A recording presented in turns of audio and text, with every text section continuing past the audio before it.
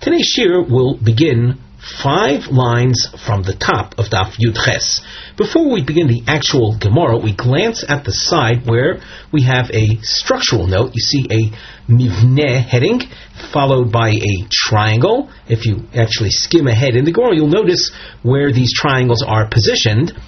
They represent Sidra Shel She'elois, a series of questions, Benogea, Liksivas, Umechikas, Parsha Soita, questions regarding the writing and the erasure of the portion that we refer to as uh, Parshas Sota, the section of the Torah that one is to write and eventually get erased in the Sota uh, process in the Beis Hamikdash. And we'll see also questions regarding Lashkoya Sota, the drinking that she must do, the drinking of the special Sota water the Gemara.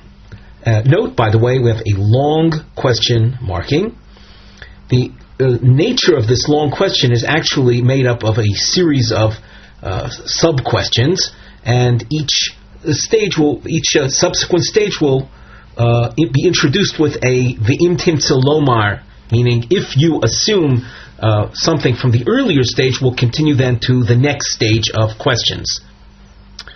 So now the Gemara text boy Rova Kosav Shnei Megilos Lishtei Sotos. He uh, wrote the uh, two Megilos, two uh, portions of writing, two separate um, parchments with for two sotas, two women that appeared in the Beis Hamikdash. Umochakon l'soich kois echad, and then they were erased over one cup. The cup, of course, is the cup containing the water that the sota is going to have to drink. In this case, we have two sotas, mahu. What is the halachic status of what we just described? Writing two separate parshios for two separate women, and then having it erased into one cup. Ksiva lishmo bo'inon. Is it so that we require that the writing of the Sota Parsha be done with specific intent for the specific woman, and that was done. Nami. Or do we also require? Now here we're going to have a problem. We have to we'll translate the Gemara, but the actual meaning of the Gemara is not in the translation. It's what we'll see in the Rashi. So, or is it that we require, in addition to the writing, which was clearly uh, each separate parsha, each parsha was written for each woman quite separately? Or is it that we require the erasure done done for each woman uh, specifically?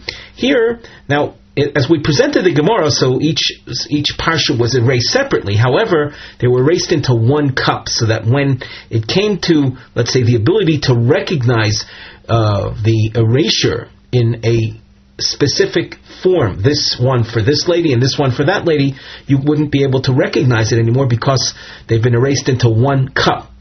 So now, this explanation we uh, try to take from Rashi, and uh, we look at the Rashi uh, that you'll see uh, four lines from the top, Mechika, Nami, uh, do, do, we require Mechika also, Bekois, into the cup, Lishma, Liatzma, means for a woman, for the woman specifically. And here's the key point: Shie nikar hamachika shi lishma, that it should be recognizable that this particular erasure was done for her. But when it's in when two women's parshios are erased into one cup, you don't have that element of specificity anymore. V'im timtzelomar. And here we go on, we're leading up to now the second stage of questioning. V'im timtzelomar boino nami lishma. And let us say then that we we take the the Bayes approach from the uh, just the, the stage just before, namely that we that it's not enough that you that you simply wrote the parshios uh, each one separately for a specific woman, but you also have to have the resultant erasure being uh, identifiable or clearly specific. Mochakon b'shnei mahu. Let's say they were uh, erased, in fact, into two separate cups. this is okay. This is better. This is an improvement than the the case just before, because in the case just before they were erased, but into one cup. Here they were erased into two separate cups. V'chazar v'irvan mahu. But then after they were erased into two separate cups, the, they were then mixed together. Mechika lishma bo'inon vo'ika. Do we require simply that after the initial erasure, you have to have a an ability to recognize each one separately, and that you can do, that you would accomplish, you would have accomplished. Odilma ha lav dida koshasya vaha lav dida koshasya. Or maybe we are to emphasize the fact that now they uh, have been mixed together, and when each woman drinks, she's not necessarily drinking that which is for her. It's mixed together with that which was for the other woman. And that, therefore, this would not be acceptable. V'imtim selomar ha lav dido koshasya, v'ha lav dido koshasya. And then let us assume, taking the, making the assumption that the fact that they were then, they were mixed together, uh, is in fact detrimental. Chazar v'cholkon ma'u. What would the law be if after they were mixed together, they were then split into two separate cups?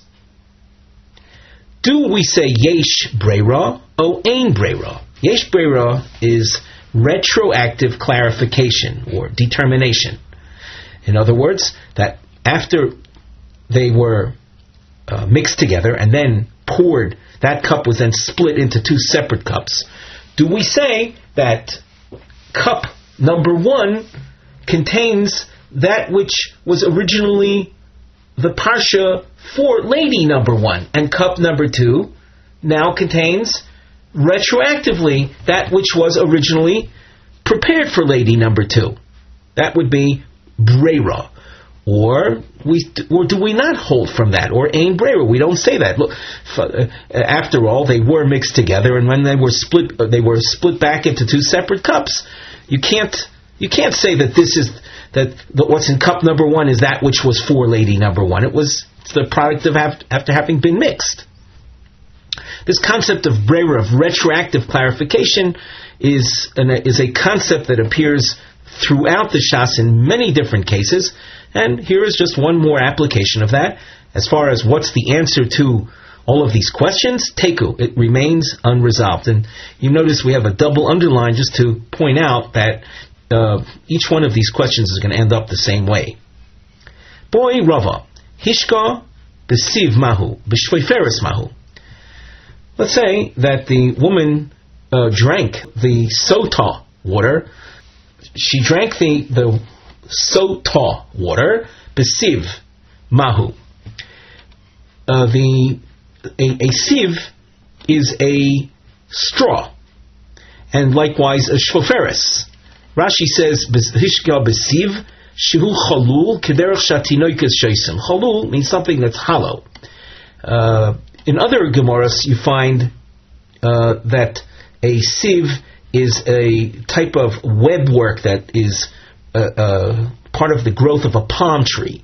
Uh, there's a note on the side uh, where the star is Pirush Nosan Hasiv Bamayim, Ubola Hasiv Lamayim, Kemin Svog, Venosan Hasiv Befiha Umotzetzis Lamayim. That's the Oruch Pshat, where the, the sieve is an absorbent material that was placed in the water, uh, and it absorbed the sota water, uh, similar to the way a sponge absorbs, and then the sota uh, sucked the absorbed water out of the sieve, out of the sponge-like material, we'll say, or uh, uh having this sponge uh, characteristic, and she sucked the water. Is that considered a legitimate way of drinking? And shvoferis, that would be the common straw, a a tube. Shvoferis is a tube. Is drinking from the through a straw considered uh, acceptable? Derech shtia b'kach or derech shtia b'kach? Are these considered uh, within the realm of normal shtia? And why is it important for us to establish that? Because the pasuk says v'hishka, v'hishka, she's given to drink, and the assumption is that uh, when the Torah uh, commands something or issues something, its intention is to be done in the normal way. Uh, for, uh, not, if we just get off the topic momentarily, uh, when you look in the realm, for example, of Hilchas Shabbos, Hilchas Shabbos, there are 39 cardinal activities that one is to avoid doing on Shabbos. If one does any of those activities, take, let's say, the prohibition of writing on Shabbos, taking a pen and paper and writing uh, letters uh, on Shabbos, writing out a word on Shabbos, that is a Shabbos prohibition. Let us say you held a, a, a pen between your teeth and wrote in that fashion. That's not the normal way of writing. If one did that, he is not in violation of the Torah level prohibition of Shabbos violation. Of course, we don't permit it, but he wouldn't be guilty of a Torah level sin. The Torah, when it instructs you in how to do things, the expectation is that you're doing it in the normal way something is done. The concept of shinui, which means change, has uh, very broad applications as well. Here too, we see this being an issue. If the drinking through a straw is considered uh, not the normal way, so then she will she will not have fulfilled her uh, requirements. Let's continue in the Gemara. Boy Rav Ashi, nishbechu mehem v'nishtairu mehen mahu.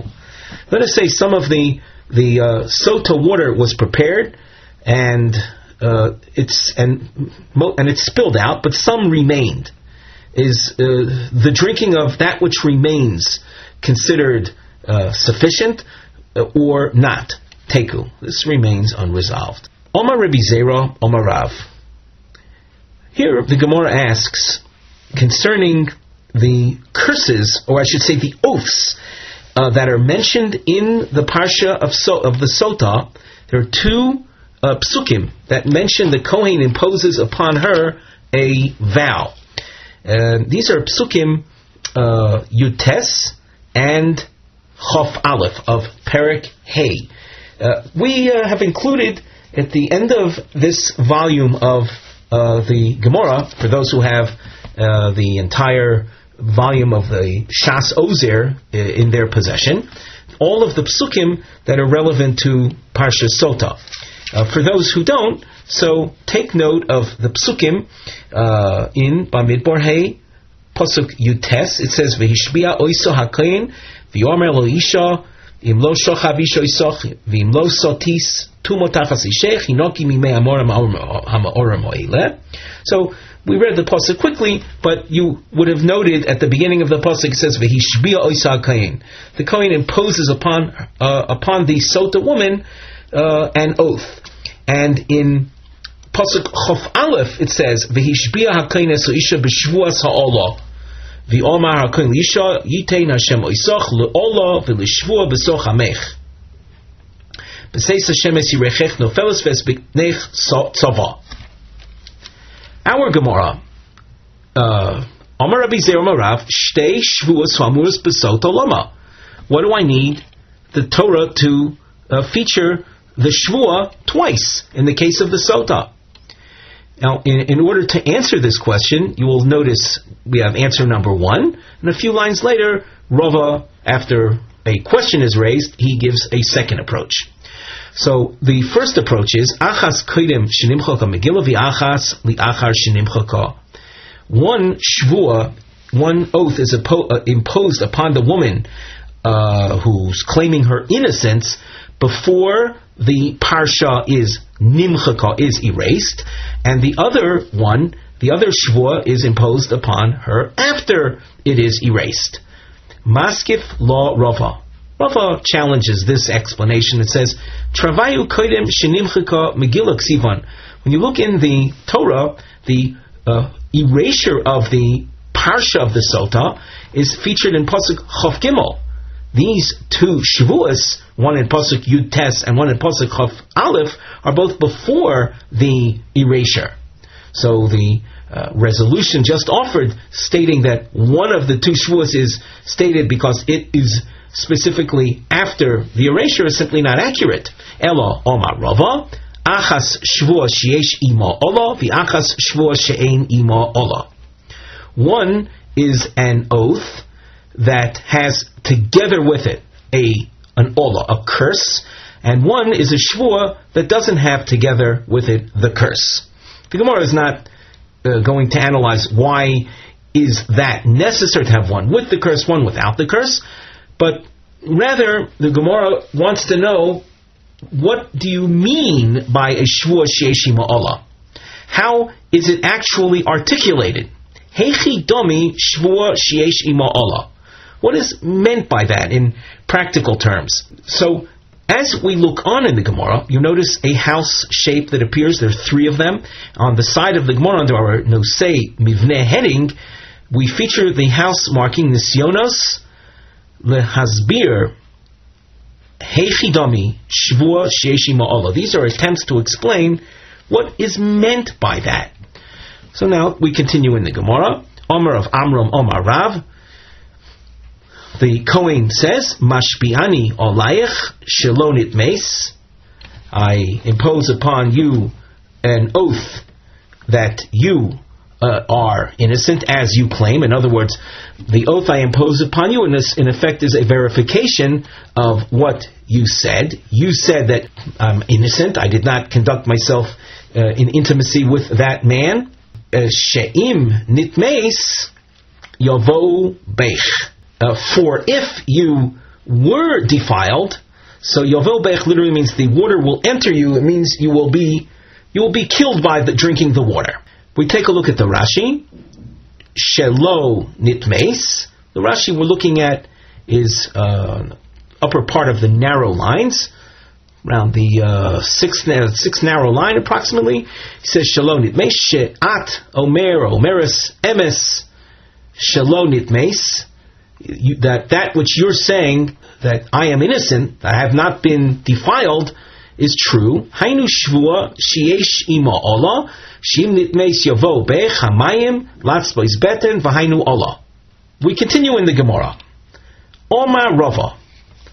Rava doesn't accept Rav's presentation. He says, Allah l'chud kaima u'shvua l'chuda kaima. Uh, in order to appreciate what Rava is saying, we go immediately to the Rashi. Omar Rava, Ola lechuda kaima, shvua ve'ola yesh kan. It is true that there is an oath and a curse in what we just read. Ushnehem al hoisha. Both are directed on the woman. Ukroksiv b'shvuas ha'ola. The pasuk itself says that the Kohen imposes upon her a shvuas ha'olah. That you saw in Pasuk Chof Aleph. Shehashvua shel olah. That the oath is imposed on the curse. Now, that sounds a little bit abstract, I believe, but nevertheless, as far as what Rav said, the entire statement, namely, I'll reading again what had said, she'im for if you were defiled, so then uh, the water will uh, curse you, will kill you. The whole statement, as far as Rava is concerned, that whole statement is woman focused. It, you, you don't have the shvua relating to the curse. Let's continue then in the Gemara. Elo Omar Rava. Mashbi'aini olayich she'im neis yavo beich. So Rava's attempted, we'll say, upgrade or improvement is where he says, I, uh, I impose upon you by power of oath that if you were defiled, so Yavobech, the water will enter you and do its thing and kill you as Rashi explains, he's mashpia. Mashpia is ha'olo shetachul. He's binding by oath the curse that it should take hold. Omar Rav Ashi. Now, before we go on, what we see in Rava's, uh, at least his attempt, is that as opposed to Rav, where the Shvua did not relate to the Allah, to the curse, in Rava's presentation, the Shvua does relate to the curse. However, uh, there's a now an opposite problem. Omer Avashi Allah Ika Shvua Leka. That means, and again, this is quite abbreviated, but Rashi explains there the there is a curse here with the shvua being imposed on the curse, but there's no shvua imposed on the woman. The woman maintains that she's innocent. Well, she should be bound by an oath to uh, say to substantiate her claim. That you don't see in Rava's presentation. Ella Omar Rav Ashi, Mashbi'eni alayich shalodit mace. This is the oath that's imposed on the woman, a an oath whereby she verifies her claim of innocence. Ve'im Nit nitmes, and here this is the subtle difference between uh, Rav Ashi and Rav. Note here it says ve'im Nit nitmes, and if you were defiled, then yovo beich, then the curse should take effect. My understanding of Rav Ashi is that when he says mashpieni olayach, in your mind's eye, there would I didn't put this in by way of markings, but in your mind's eye, there's a colon after olayach. So I'm, the Kohen imposes upon her an oath. Point one, shalonit mace, a verification of her claim of innocence. And the mashpieni olayach, point two, the imnit mace, and if you happen to be defiled, so then the curse, the, the shvua, is imposed on the curse that it should take effect. So that the change with one letter difference. In the case of Rav's presentation, he said sheim. The shin of that word sheim nitmes created a sense of one continuous statement, a continuous flow, whereby, as Rava objected, the shvua was imposed entirely on the woman. There was no, there was, let's say, no change in in subject in that case. But with the vav in front of the word ve'im, it creates a split, meaning there's the topic of the shvua on the woman, ve'im nitmes, and now, as far as the curse is concerned, Yovo Bech, it will take hold through the power of this oath that is imposed upon the curse to take hold. These are uh, topics that, in, in my estimation, as we learn in a dafyomi context, are a bit um, abstract, but nevertheless, we tried our best to uh, to highlight the distinction between uh, Rav's approach and Rav Ashi's approach, which, when after all is said and done, it comes down to one letter uh, that makes all of the difference. Now we continue with the Mishnah. The Mishnah is working with a reasonable uh, supposition or assumption that we're familiar with the psukim. And we've mentioned time and time again to take advantage of the list of psukim that we have at the end of our Mesichta, or those who have looked up the Chumash and have Bamidbar Perak in front of them. So you would turn to Pasuk Chof Beis. And in Pasuk Chof Beis, you notice that after the oath is imposed on the woman, uh, it says at the end of that pasuk, "V'omra ha'isha amen amen." No words are extra in the Torah. No letters are extra in the Torah. And when you have a double expression like that, it, it cries out for an explanation. It says, and the woman responds, Amen, Amen.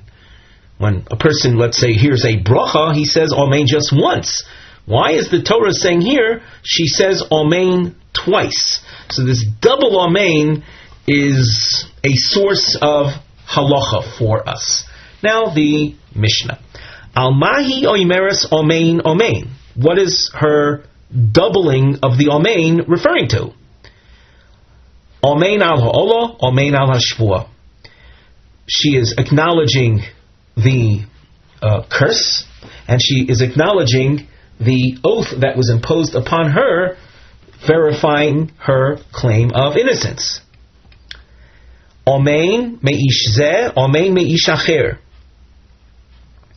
I am innocent from the man that I was warned about, and I am innocent with regard to any other man that uh, might that you might question uh, my uh, uh, concerning whose whose uh, relation with I you might have any questions. Now it's important to note that when when she says Amen mi'ishacher, uh, this other guy is not it's not someone that she had received a warning from by her husband, uh, but once she is made to swear, there's a concept that we're going to see uh, in Rashi shortly called Gilgul Shvua. That it's literally rolling a shvua from one onto another. In order for this concept of shvua rollover, you have to have a basis of the first shvua that's uh, rooted in the rules of the shvua. And in this case, the basis of the sota is, is, that the husband had warned her, kinui, and she was subsequently found in seclusion, stira. But once the process gets started, then if we if the, let's say the uh, the husband wants to raise uh, suspicions about her fidelity with regard to uh, any other men, he can do so. Omein shelo sotisi. She says, "I proclaim my innocence." Shelo sotisi. I didn't go uh, to go astray.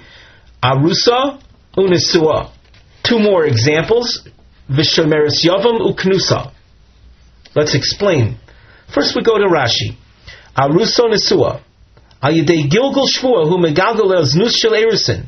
Erisin is the initial stage of marriage before a couple consummates the marriage. Here you have a husband that had consummated his marriage with his wife, fully married couple. He warned her not to be with so and so, and she went ahead and violated his warning, went into seclusion with so and so, and the sota comes to the Beis Hamikdash, and she is made to swear that she wasn't with so and so, the man that was specified, and also that she wasn't with anybody even before they consummated the marriage after he had uh, offered uh, money to her or something of value to start the marriage process, the erusin.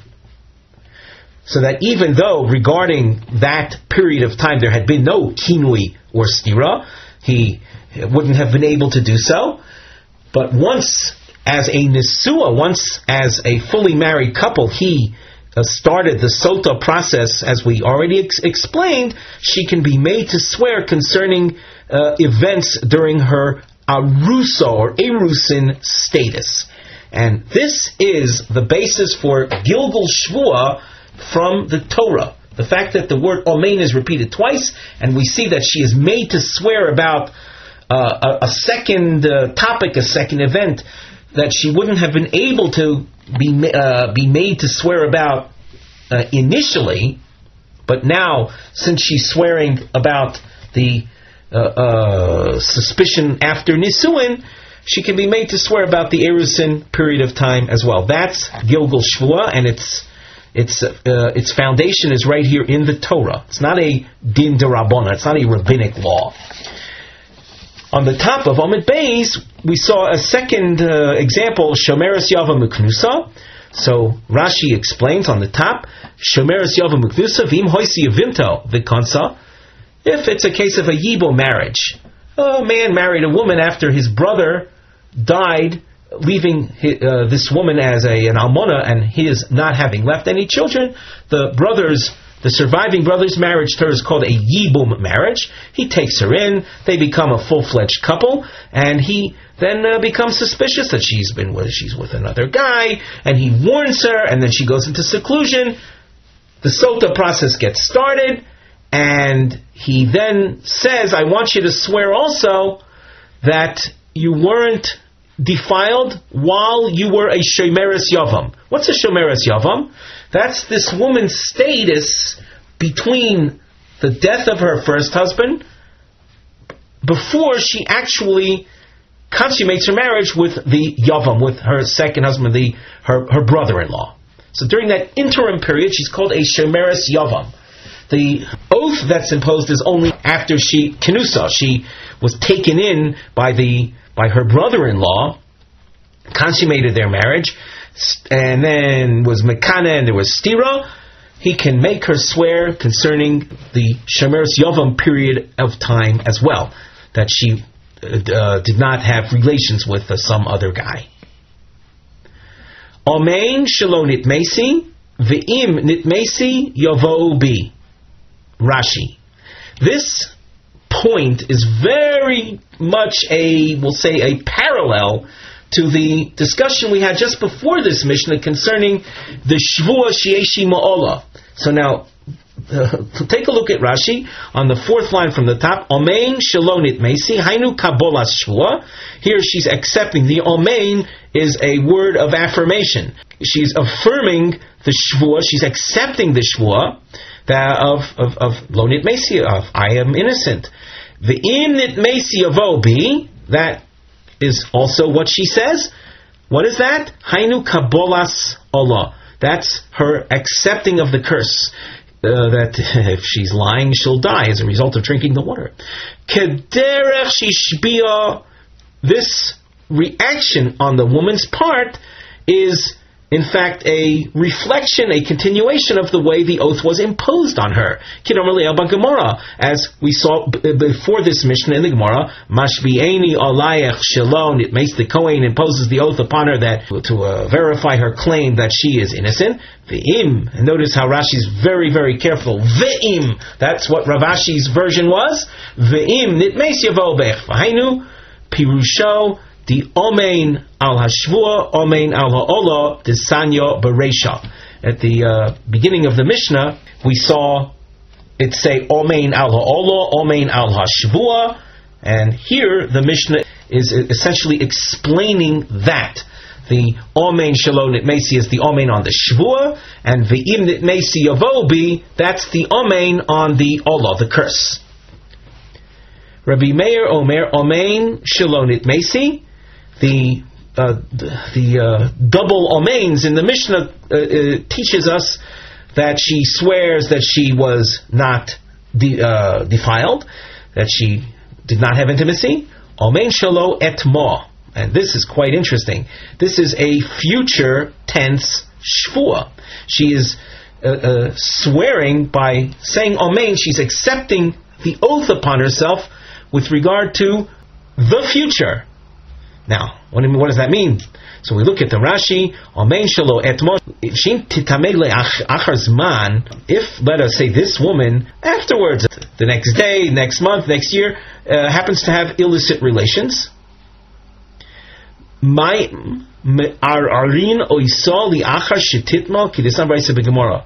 The waters that she drank a year ago will be revived, so to speak, they will be aroused and they will cause her death. We continue. Hakol shovin she'ein masne imo lo al shitis ares. Everyone agrees, even Rabbi Meir, who seems to be rather, we'll say, uh, broad and, and, strict in his approach, meaning he's uh, holding her responsible even for future events. Everyone agrees, though, that the Shavuos that we're talking about and the, the curse uh, that is being imposed upon her does not cover times that were before she was an arusa, velo mi nizgarsha. You notice that we're following the a, a, changed girsa. We're reading based on the Bach. The Bach has two alternative girsos, and we're following his second girsa that we've included between the lines, where everyone agrees that if, if, even though she might have behaved uh, having uh, sexual intimacy with men, but at a point in time before she was an arusa, a single woman fooling around, or mishen is garsha, or uh, after she was divorced from her husband. Again, in that sense, she's a single woman at that point. She had uh, gone into seclusion with some man and, and experienced uh, intimacy. And afterwards, her original husband took her back. The uh, masna literally means the, the conditions, the stipulations.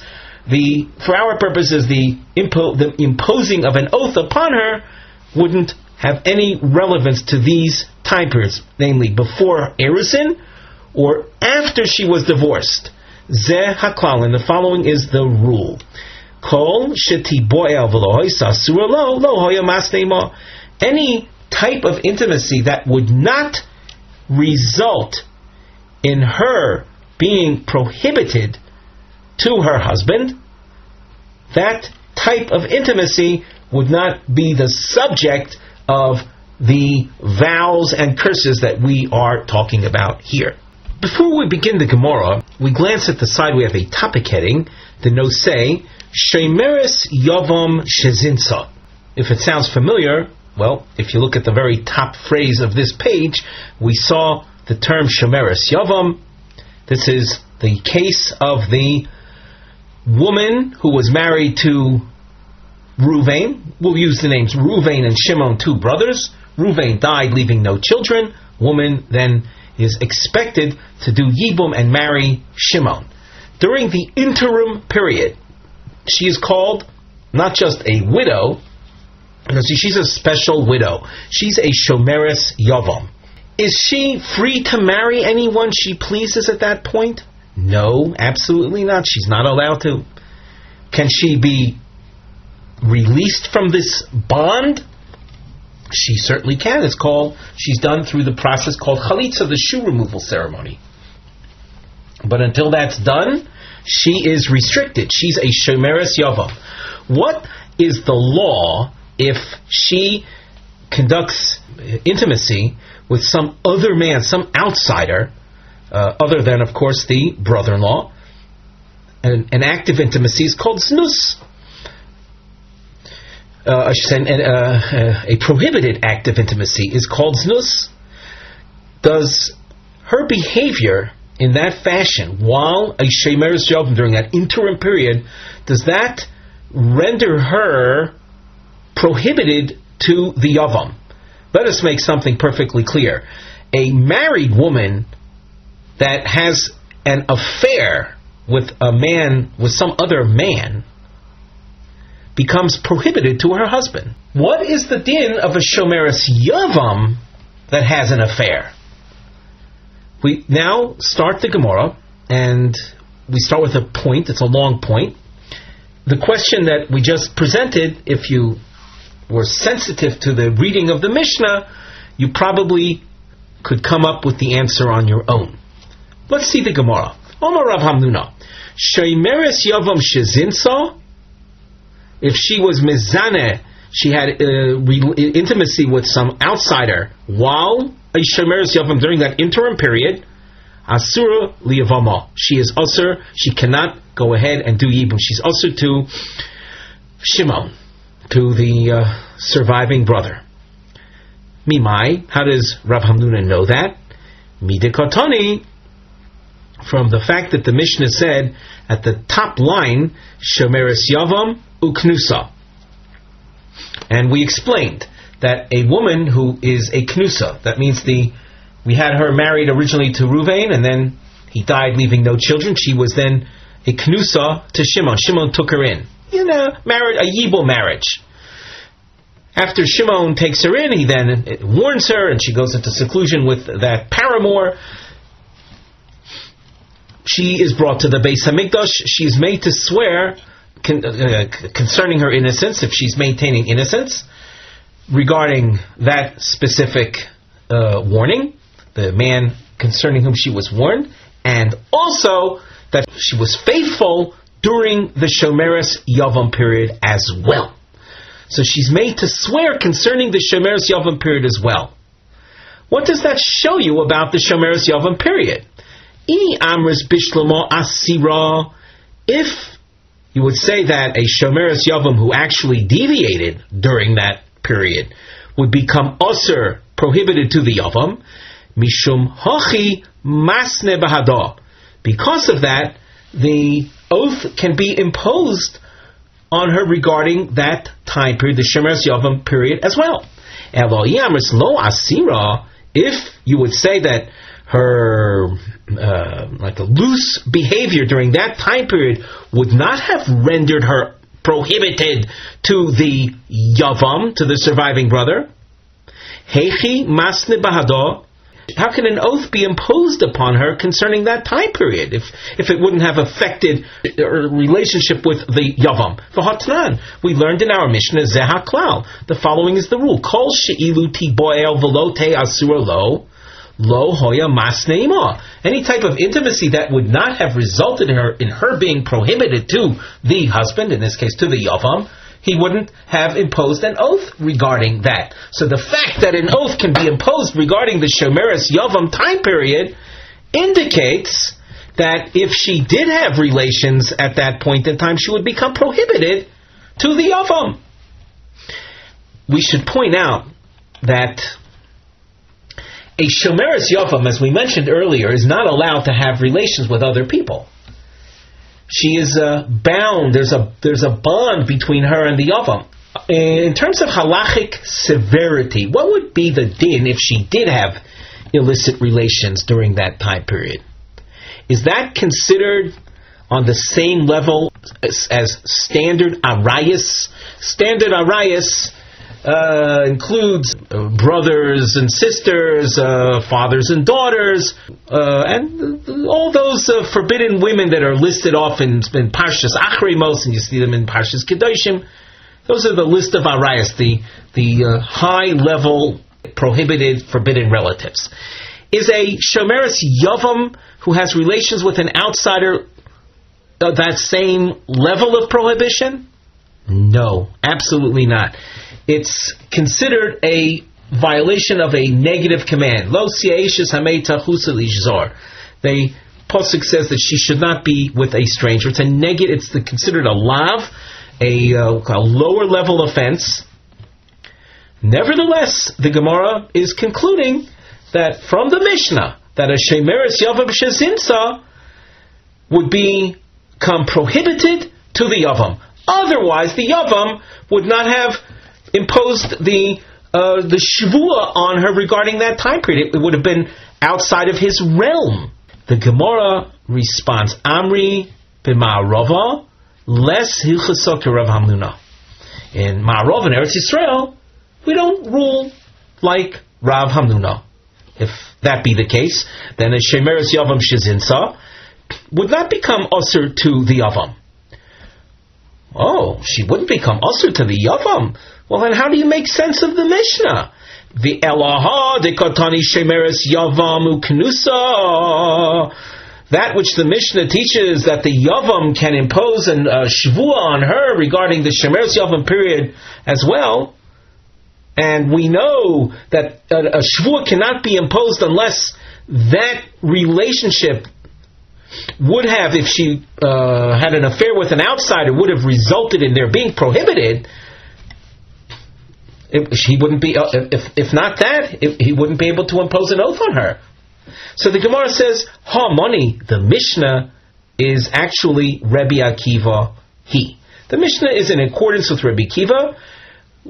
This represents an opinion, but not one that the Gemara accepts as a final halacha. The Yomar Rabbi Akiva who says, "Ein kedushin toisin b'chayve lavin umashvi law ki erva." Rabbi Akiva has a very high and strict standard with regard to this this realm of prohibited relations. If a woman is prohibited on a lav, lav is a negative command, not to be confused with the word love in English, obviously. Here we're talking about lav, a negative command we say ain kedushin toisin b'chayv If a woman is prohibited to a man to the tune of or at the level of a negative command, and if he attempts to marry her, the kedushin, the marriage does not take hold. Ain kedushin tosin means the kedushin, the the offer of marriage to her does not take hold. A yavam Yavama that is, the Shemeres Yavam, the woman, while she's in that interim period, her uh, status with regard to uh, outsiders is, as we said before, a negative command. It's a lav.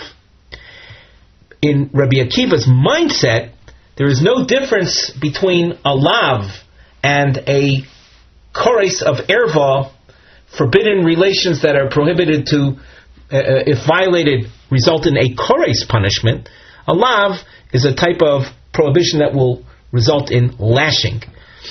Uh, the standard erva is an illicit relation that would result in a kores punishment. But as far as Rebbe, and uh, when it comes to kores level offenses in the realm of uh, forbidden relations, uh, a marriage wouldn't take hold. Uh, for according to uh, most opinions, of course, if a brother gives money to his sister in marriage, the sister is not considered married to the brother, and she can marry anyone she likes. Nothing took hold. According to Rabbi Kiva, relations that are prohibited as a mere lav as well do not take hold. Now, all of that, what does it mean for us? So, as far as Rabbi Akiva's mindset is concerned, the Yavama is like an erva. And since the Yavama is like an erva, if she has relations at that during that time period with some outsider, it will result in her becoming usher to the Yavam. The Rabbanan, though, disagree with that. Let's take a look at Rashi. Ein Kiddushin Tosin Le'isho Ha'asura Lekache Balav. means Kiddushin does not take hold with a man and woman when the woman is prohibited to the man to the tune of a lav, a negative command. The Rabbanan pligi ole v'amri b'chayve krisis hu lo tafsi abu b'chayve lavin tafsi. The Rabbanan disagree and say that when it comes to a prohibited relationship that would be punishable by kores, so then a marriage does not take hold. But when it comes to a prohibited marriage, but it's only prohibited to the tune of a negative command, even though it's a wrong thing to do, she nevertheless is considered married to him.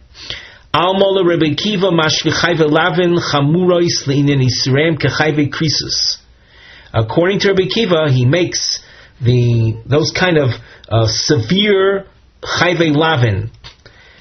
Uh, the Rashi here is, is I, I, say it's it, he, it's loaded because he adds the word chamuros. We're not going to get involved with the all the other sugyas and shas you find in Maseches Kiddushin. I think in Maseches Ksubas as well quite a discussion concerning Rabbi Kiva with Rabbi Yeshevav and Rabbi Simoy. How broad does Rabbi Kiva extend his classification in the realm of Lavin to parallel to Chiyuve Kores? Be that as it may, uh, Rabbi Akiva is telling us that Chayve Lavin are severe enough that we view them like Chiyuve Kores, Shavlad Mamzer. The child that results would be considered a Mamzer often translated as an illegitimate child. Ulagabi les or albailo nami, and here's the, the, main point for us, and regarding prohibiting her on her husband as well, ki hechi ish, just like one who has intimacy with a married woman, she bekores, that's a, a high level prohibition, punishable by kores. And one who has relations with a married woman, Asura Abaila, she becomes Asur to her husband. Kain Haboal Shemeres Yavim Nami, she Alavalo Siaish Samesa Zor, an outsider that has relations with the Shemeres Yavam, is in violation of a negative command that we just cited. Osra al Yavama will make her prohibited to the Yavam. So notice the parallel. Just like an outsider that has intimacy with a full married woman makes that full married woman prohibited to her husband, an outsider that has relations with the Shemeres Yavam makes her prohibited to the Yavam. And that's uh, as far as the uh, ruling of the Gemara is concerned. We're not going to follow Rav Hamnuna, and as far as the Mishnah is concerned, it is taught in accordance with Rabbi Akiva, who has his unique standard. We turn back to the Gemara. Boy, Rebbe, Yirmiyah. Ma'u, and before we go on, maybe let's take a look at the side. We have a no say topic heading. Birur efsharios nosafos alma hasnos. We're going to investigate uh, examples beyond those that were listed in the Mishnah concerning what a husband can uh, impose upon the sota, his wife, who's a sota, uh, topics of, uh, uh, let's say, forbidden relations beyond the actual man concerning whom he had expressed his kinui. Boy Rabbi Yirmiyah, Mahu shiyasne adam al nisuin horishonim. Another question, al nisue ochiv. Mahu. What does nisuin horishonim mean? A man was married to a woman and he divorced the woman. And after he divorced her, he then took her back. When we say he, he took her back, that's making, of course, the assumption that she didn't marry someone else in the interim. So a man divorced his wife, took her back, and after he took her back, then the, the sota process set in. He was uh, mekana, he made a, he warned her, and she was in seclusion with someone.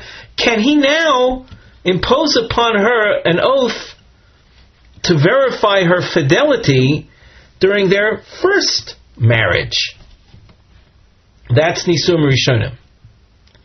What's Nisui Achiv? That's a case of a Yavam who married his sister-in-law, and after they got married, she became a Sota. Can the Yavam say, I want you to swear that while you were married to my brother, you had been pure. You had been faithful. So, what is the din? Tashma, Ze Haklal. From the principal talk in the Mishnah, we can answer this question.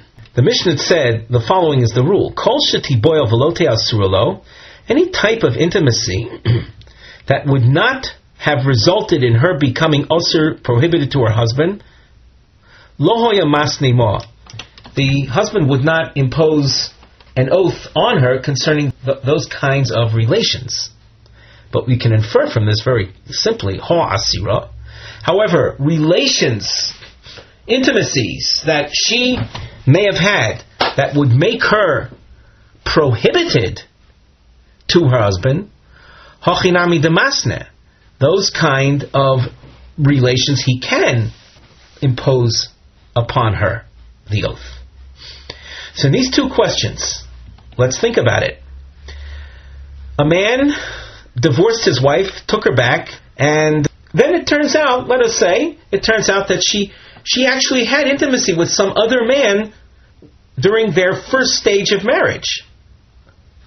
The halacha is that a married woman who has relations with an outsider, she becomes prohibited to the outsider, and she becomes prohibited to her husband as well. Permanently prohibited.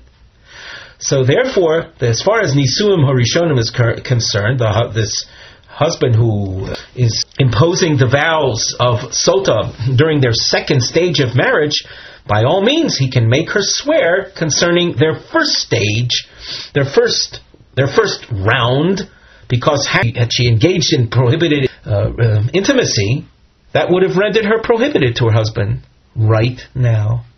And the same is true with regard to the Yavam. Had she behave, behaved illicitly during her marriage to the deceased brother, she would not be allowed to have married the Yavam. She would have become prohibited to her husband. If she becomes prohibited to her husband, when he dies, she's out of the picture. She's not going to do Yibul. Shmamina. So this is conclusive. Rabbi Meir Oimer Omein Shalo Nitmesi Omein Shalo Etma. Rabbi Meir spoke about the imposing of a shvua with a future tense as well. Tanya Lo Kishoma Rabbi Meir Omein Shalo Etma Sheim Titamei Mayim Boikim when Rabbi Meir said that a shvua can be imposed upon her concerning the future, it's not as if to say that well, in the event that she would have uh, uh, um, relations in the future, the, the, the water will check her out right now, will cause her to get very sick right now. Ella, rather, the, what Rabbi Meir said when he says that she swears concerning the future as well, it's lichashit when, if she does in the future become defiled, Mayim ma'arin osal asa. The water that she's drinking now will become aroused, will become revived, and she will be checked out by the water then, she'll be killed by the water then. Boy Rav Ashi, Mahu sheyasne odam al nisuim hoachrenim.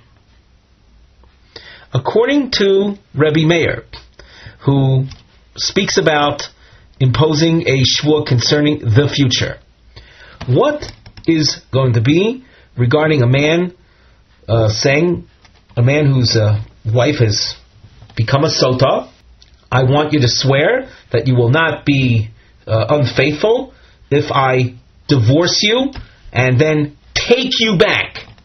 And in that future second stage, if you are uh, unfaithful, so then let this water check you out. Let it have its effect. Now, two sides of the analysis. Hashta miha lo asira le. Right now, she is not prohibited to him. Odilma zimnin de megarish law, the hadar mahadar law. On the other hand, he might in fact divorce her and then take her back.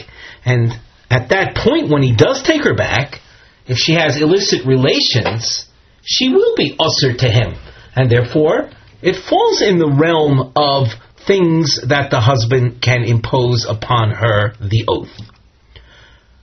Toshma, Hakol Shovin, everyone will agree, of course, this is a quote from the Mishnah, She Lo Hoyamas Nimo Lo Al Koidem Shetisares, Lo Al Achar Shetisgarish, Vitistar Li Echod, Vititame, Viachar Kach Yachzirena.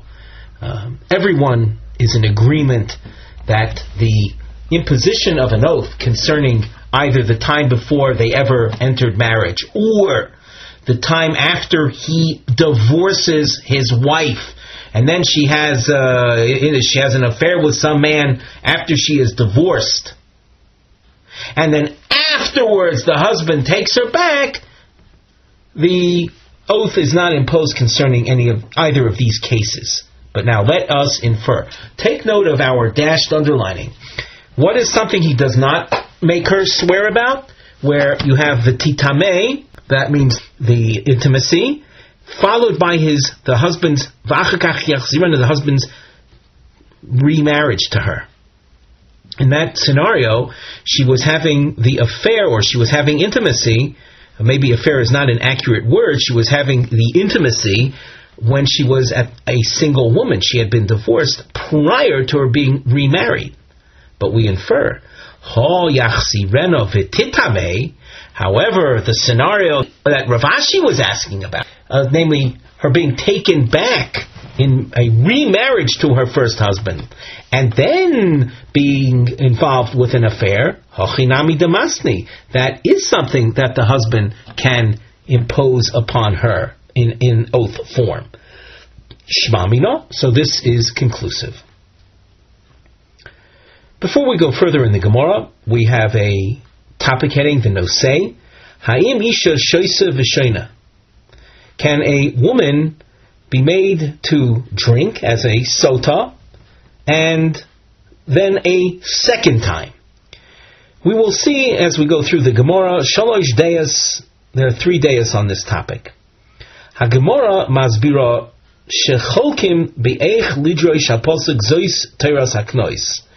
The machlokis that will follow will be actually you'll see a three-way machlokis as we pointed out Gimel Deos how to deal with this pasuk Zois Teras Haknos. Zos mai. The word zos is a limitation expression. What does it limit? And Toras is an inclusive expression, Larabosmai. What cases does it come to include?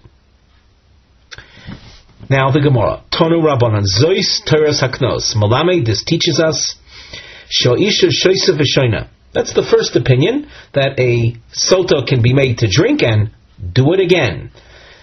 Rabbi Yehuda Omer, Zos She'eno Isha Shoisa Vishoina. According to Rabbi Yehuda, the word Zos is a limitation expression.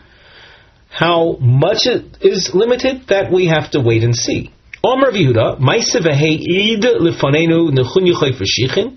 There was an incident, and Nechunya, the well digger, uh, testified, Shoisha, Shoisa Vishaina, that a woman does uh, repeat the drinking, she can be made to drink on two separate occasions. The Kibanu do so, and we accepted his report, his testimony, in the following: B'shnei anoshim. Shnei anoshim means two men.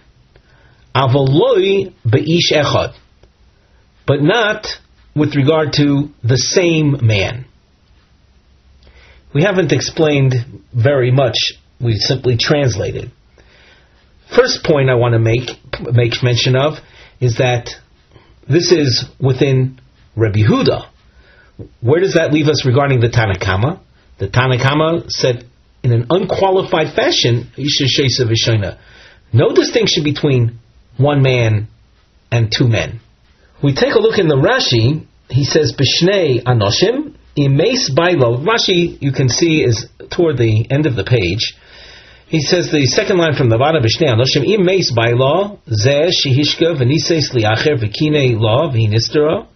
If uh, the husband that originally had brought her to the base of a sota, he dies, and she then marries a second man, a second husband. The kine lo v'hinistera and that second husband had suspicions about his wife's behavior, and he warned her, and she went into seclusion. And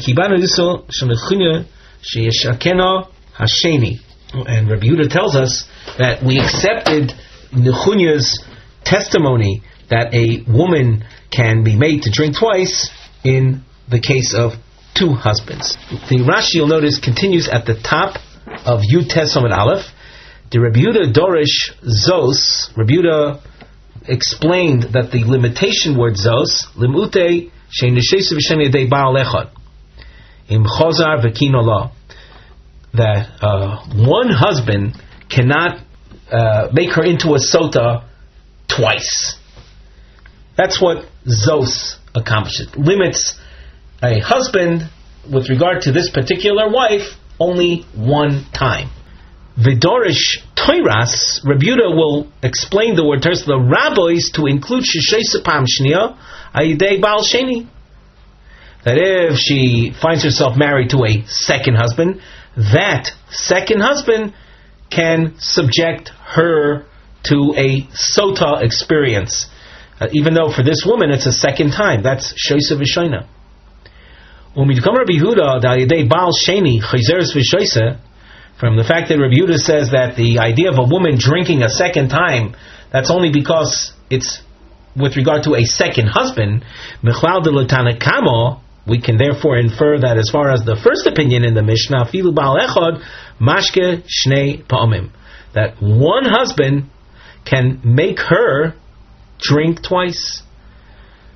V'hainu de parchinon, and with this in mind, we will see the Gemara asking, V'tanakamo ha'ksiv zos, what does the Tanakama do with the Zos expression, which is a limitation? If the way we're presenting things now, we don't see any limitation on the part of the Tanakama. Let's go back to the Gemara where we left off. I hope everyone sees we're five lines from the bottom of Yud Chesamid Beis.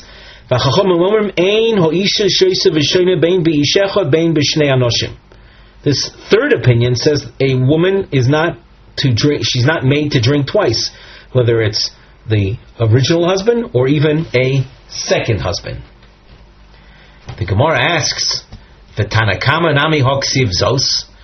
According to the Tanakama, it seems that the woman will always be made to drink twice. Even the first, even one husband can make her drink twice. Where is there any manifestation of zos a limitation.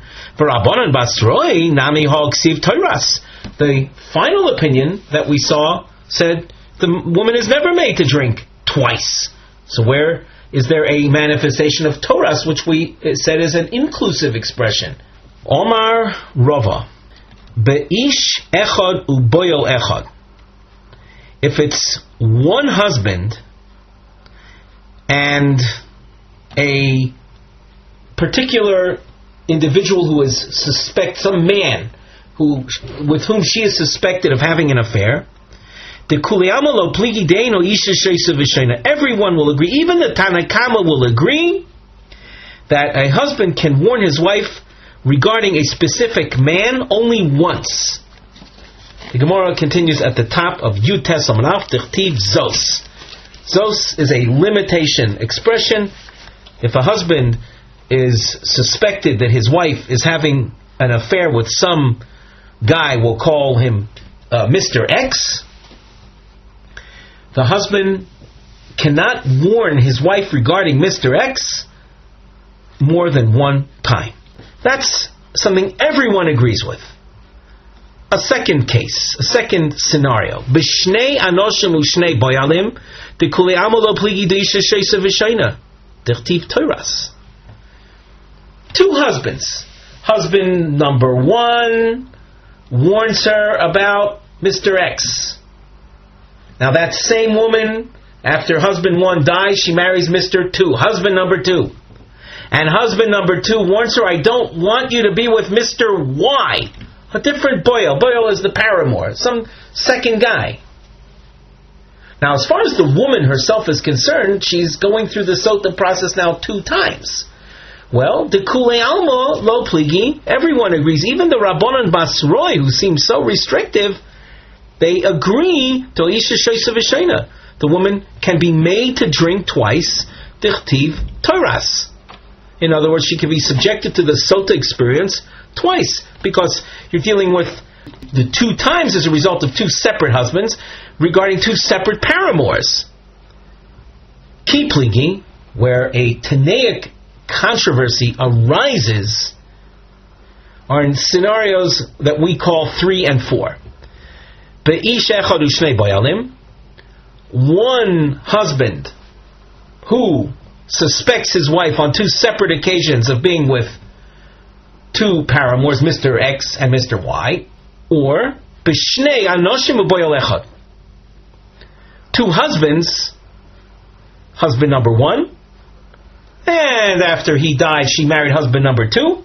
But both of these husbands are suspicious of her being with the same paramour, the same Mr. X.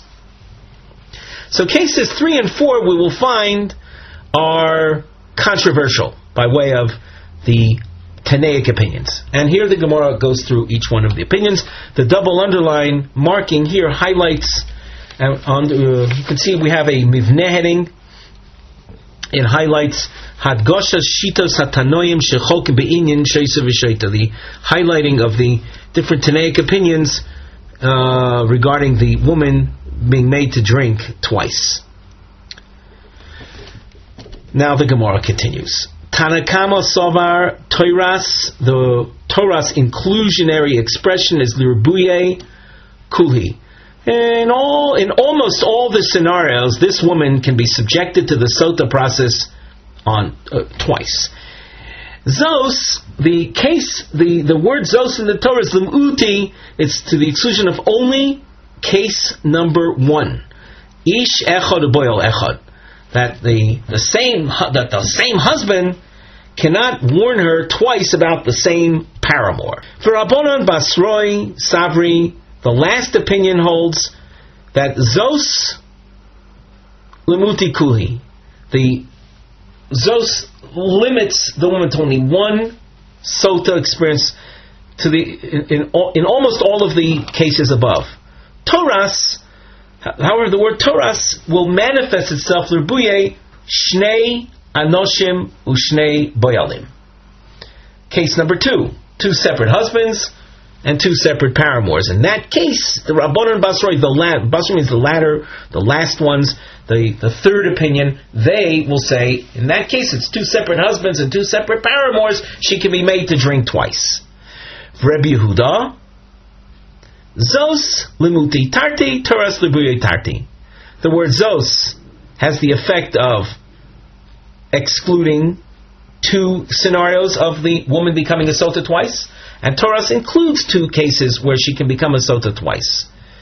Zos lim uti tarti. There are two situations where she cannot be made to drink twice. Case number one, ish echod boil echod. The same husband with regard to the same paramour, she cannot be warned twice. And ish echod ushnei boilim. one husband with two separate paramours. That's to be excluded. She won't be drinking twice. We're going to see some depth to this uh, in, a, in, a, little in a moment after we finish the Gemara. We'll see in, in the Rashi some insight here. Torahs Tarti, we're continuing in the Gemara. The word Torahs includes two scenarios where she can be made to drink twice. Case number four, Shnei Anoshim Uboyol Echad. Two separate husbands who are both suspicious of the same paramour. Shnei Anoshim Boilim. Well, the, most obvious case where she can be made to drink twice is two separate husbands and two separate paramours. Now we take a look at Rashi to appreciate Rabbi Huda a little more. Rabbi Huda, the Rashi says, Svira lei, the chule, the achar shiriba kosav Once you have a posuk, part of it including, part of it excluding, velo pirush maribo ma'miet, the pasuk doesn't specify what's being included, what's being excluded. Al korchach lo mosra kosavel chachomim lefarish loch lefi chachmasam maribo ma'miet. Therefore, the Almighty gives the sages the power through their wisdom to explain what is included and what is excluded. It's most likely that this idea of the woman being subjected to a, a, a second sota experience would apply only in this in the cases of two separate husbands. Even if it's concerning the same paramour. However, However, to suggest that she can be made to be a sota twice by the same husband, even if it's two separate paramours, that no. Kevon de kina law kvar v'nimseis nikia. Since he, the same husband, one husband, he warned her once. And she turned out clean. She turned out the water had no effect on her. She turned out to be a tzadekes. She was a uh, a righteous woman. Now, you have a husband, sees his woman, his wife is righteous. She went through this uh, terrible ordeal, this sota ordeal, comes out clean. This man, this same husband, is what he's going to warn her again. Nira Hadavar. It appears to us, She'odam Kantaron, who that he's a tough guy. Kantaron, somewhat reminiscent of the word cantankerous and he wants to infuriate her. He wants to frustrate her, cause contention, kantaron, contention. Hilkoch lo shno mechashad rishon velo shno me'acher. Therefore, when it comes to the same husband, we're not going to make a distinction whether he's repeating his suspicion of the same guy, the same Mr. X, or even if it's not just Mr. X, but the, the husband is worried on a second occasion that she's with Mr. Y. Once this man saw her come out clean, he should leave her alone, so to speak. Therefore, there's no shoyna v'shoysa as far as rebuke is concerned when you're dealing uh, the, with the one husband. Baruch Hashem, you can see we've uh, reached the end of the first parak of Masechet Sota, Mitzvah Hashem. Now our next year we'll start the second parak. With that, we conclude our shiur for today.